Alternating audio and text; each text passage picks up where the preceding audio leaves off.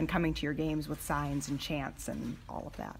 Well, I think that, you know, when you think about communities across the world, uh, I think that a lot of people would stand for world peace. You know, government gets involved, um, it impacts different communities in different ways.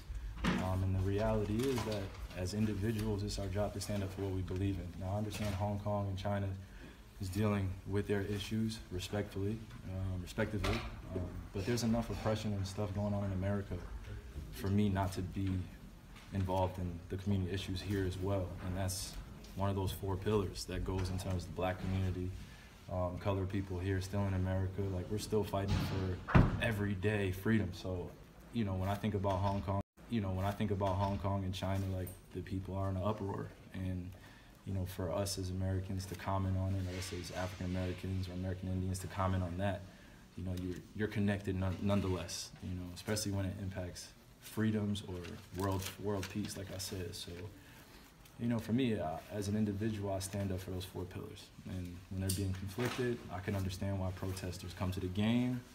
America was built on protesting. I mean, built on slavery, let alone, but things happen all across the world, and we're just taking notice. And social media puts it right in front of everyone's faces. And you know, if you're not thinking with a selfless attitude, then you can come out and kind of get yourself caught up in a few things politically that really impact a certain group of people in an area of the world. So I speak objectively, but also subjectively in terms of how I feel about the pillars that I stand by as a man. So.